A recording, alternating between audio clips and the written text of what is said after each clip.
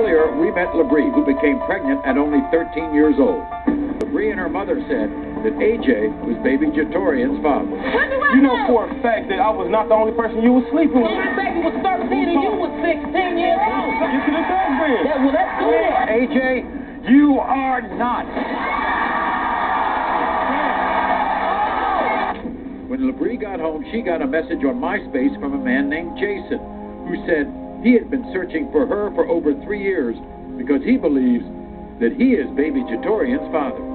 We plan on giving them a DNA test on a future show, so keep watching.